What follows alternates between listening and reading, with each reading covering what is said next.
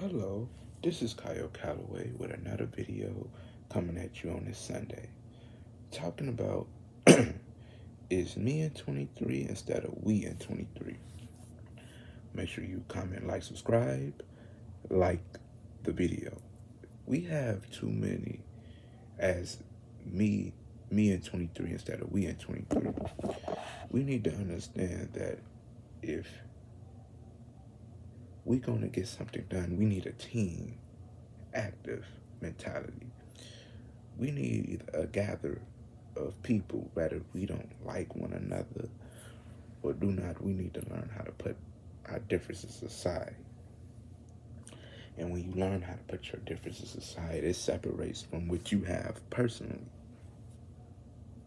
It brings you to an understanding of collectivism to where if this if we come together instead of doing it solo, it would take quicker.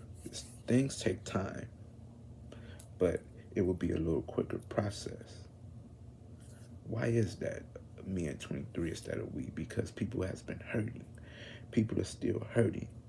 This is why you see uh, people um, flaunting their wealth when they get successful because they want to get one up on a person that did not give them a shot or give them a chance. We we can't do one we can't we can't really unite with one another because we still got animosity for what that person didn't do or didn't want to do. And when we try to come together for a collective project with one another, it always go to shambles. And when a person that was selfish needed needs someone now, the people that they hurt want to take revenge out on them when they're in their low parts because that person didn't want to give them something when they had it. So they looking for revenge when they when that same exact person that refused to help them.